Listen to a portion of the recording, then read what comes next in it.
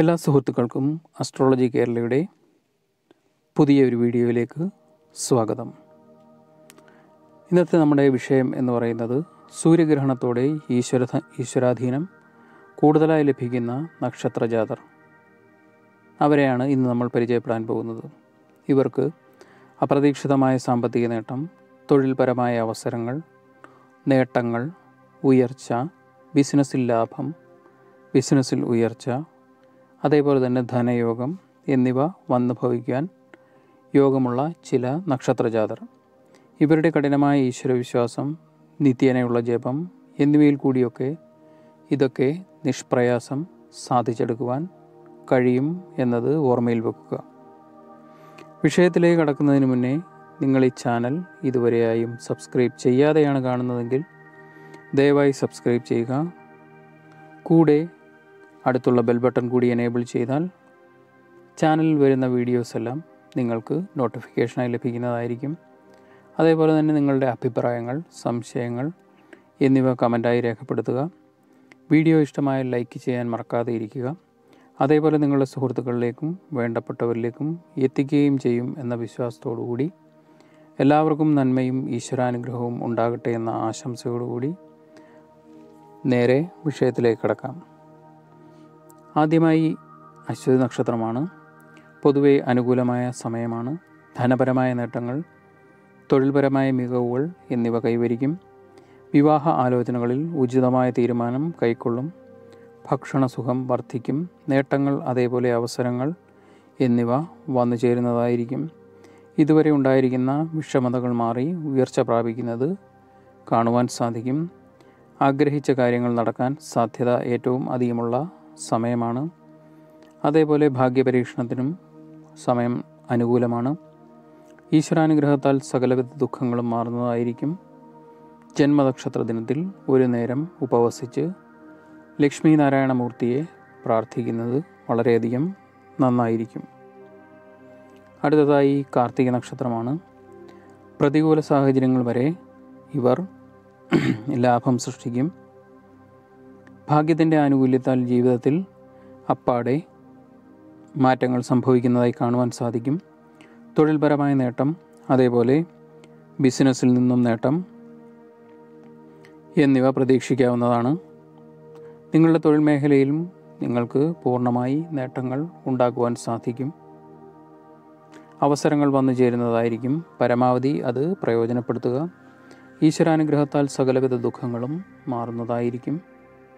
ജന്മനക്ഷത്ര ദിനത്തിൽ ഹനുമാൻ സ്വാമിയുടെ ക്ഷേത്രത്തിൽ പോകാൻ സാധിക്കുന്നവർ പോകുക പോയി സ്വാമിയെ പ്രാർത്ഥിച്ച് അവൽ നിവേദ്യം സമർപ്പിക്കുന്നത് വളരെയധികം ഉത്തമമായിരിക്കും.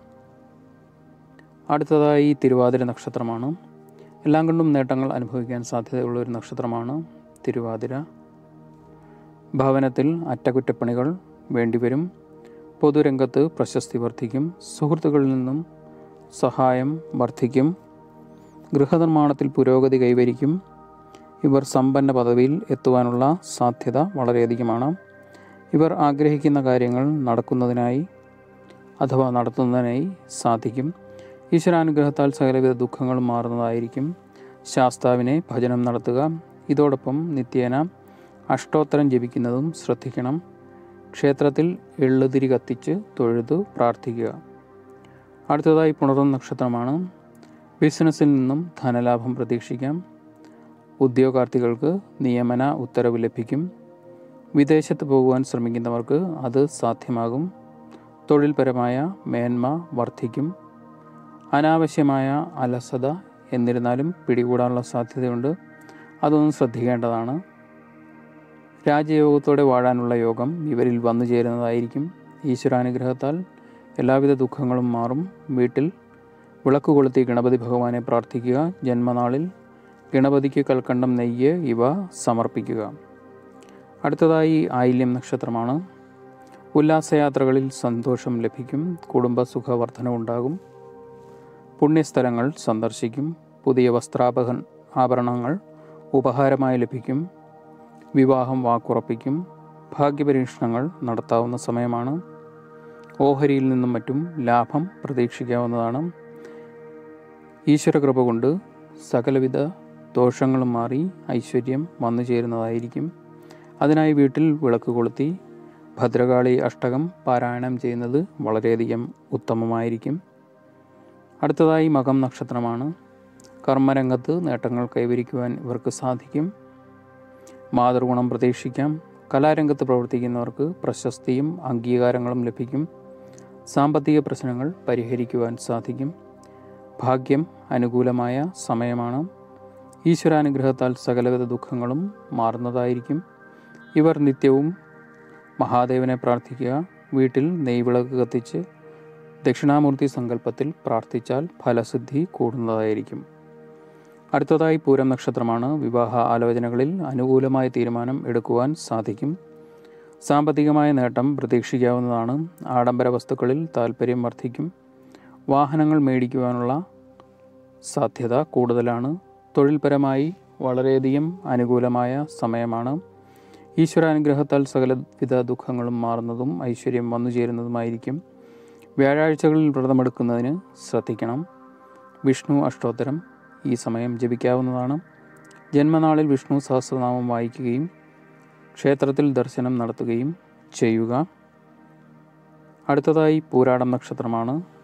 വാക്സാമർഥ്യം മുഖേന ഇവർക്ക് വിജയം കൈ കൈവരിക്കുവാൻ സാധിക്കും.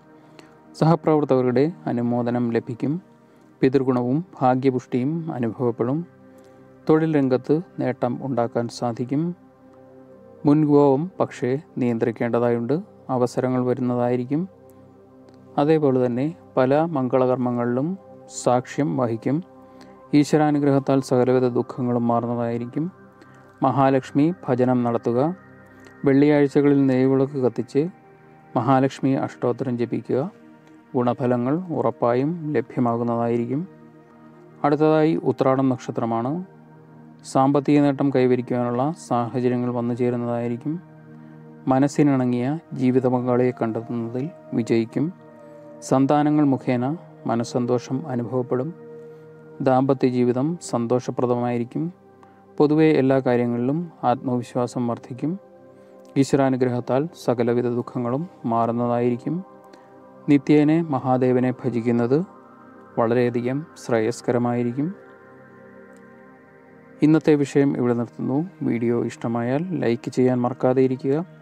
അതേപോലെ തന്നെ സബ്സ്ക്രൈബ് ചെയ്യുന്നവർ ആ ബെൽ ബട്ടൺ കൂടി എനേബിൾ ചെയ്താൽ ചാനലിൽ വരുന്ന വീഡിയോസ് എല്ലാം നോട്ടിഫിക്കേഷനായി ലഭിക്കുന്നതായിരിക്കും. അതേപോലെ നിങ്ങളുടെ അഭിപ്രായങ്ങളും സംശയങ്ങളും എല്ലാം കമന്റ് രൂപത്തിൽ വീഡിയോയുടെ ചുവടെ രേഖപ്പെടുത്താവുന്നതാണ് പുതിയ ഒരു വിഷയവുമായി കാണുന്നതുവരെ എല്ലാവർക്കും നന്മ വരട്ടെ എന്ന പ്രാർത്ഥനയോടുകൂടി നന്ദി നമസ്കാരം.